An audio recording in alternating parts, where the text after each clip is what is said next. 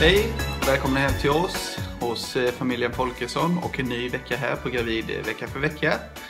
Just nu är jag hemma med lilleman här som sitter i soffan. Eh, fick hämta honom igår på förskolan.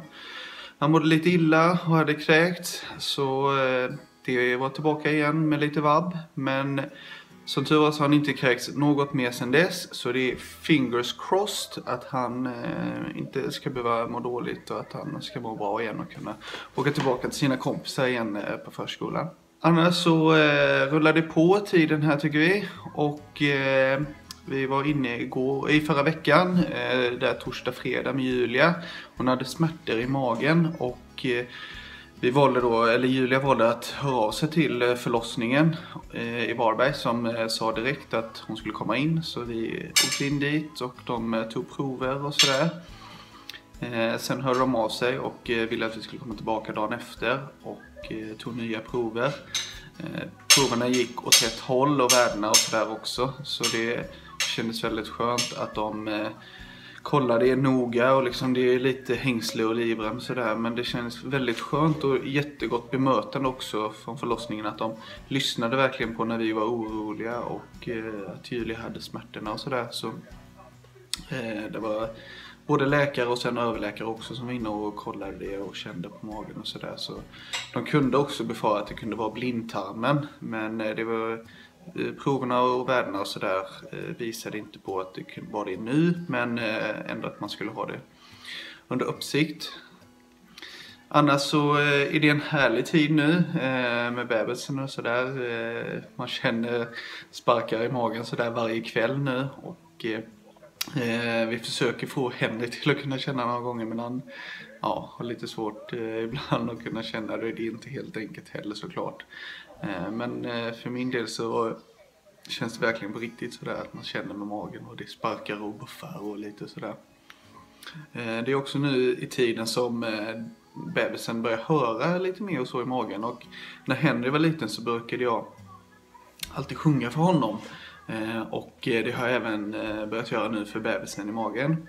Och det är ju fantastiskt fin sång så det brukar alltid bli lugnt i magen efter jag har sjungit. Men Nej, skämt åsido. Men eh, det, eh, det är ganska härligt eh, för det gör ju också att barnet känner igen rösterna och sånt. Och förhoppningsvis så kan det ha en god påverkan sen till barnet när det kommer och sådär.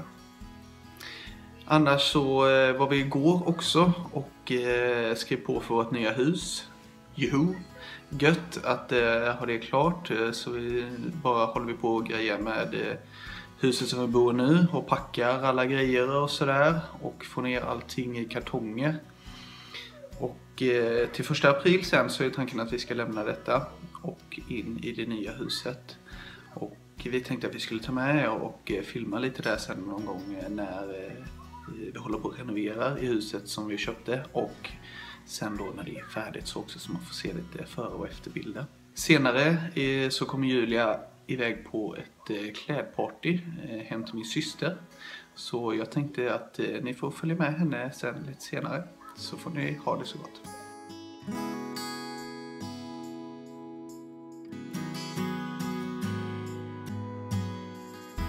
Vill ni visa lite vad ni har köpt till kille och tjej? Till kille och tjej? Mm. Supermysig. Mm. Den var jättefin. Oh, Jeansen kommer väl strax säkert. Och jeans Om man har dem. Ja, precis. Ett par shorts. Ja. En, skjorta. Mm, den var jättefin. Mm. Har du någon favorit här Martin? Eller? Jeansen. Jeansen, absolut. Mm. Ja, då har jag kommit hem efter den här härliga tjejkvällen som det blev med Pontilux party. Vi, eh, jag försökte filma lite granna. Eh, jag är inte så expert på film överallt och sådär men vi får se om de kan, vi kan klippa ihop någonting i alla fall så ni kan få ett litet hum om eh, vad Pontilux Party är och vad det är för form av märke. Eh, jag tycker absolut att ni ska gå in på deras hemsida pontilux.com för att ehm, få en rättvis bild på vilka härliga ehm, kläder det faktiskt är.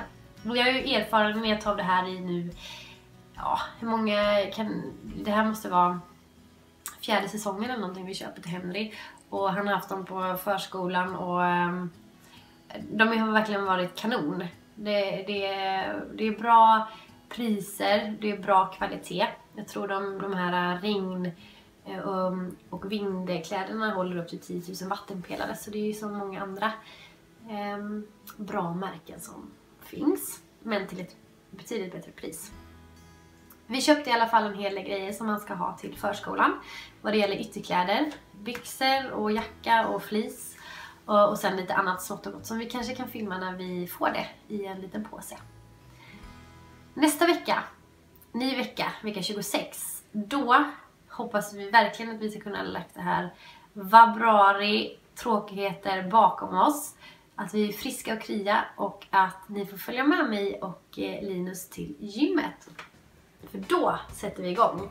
Då jäklar ska vi... Ähm, äh, ja, då ska jag boosta den här kroppen med ge den härlig energi och eh, förbereda den inför den kommande förlossningen. Och till dess, ha det så bra. Hejdå!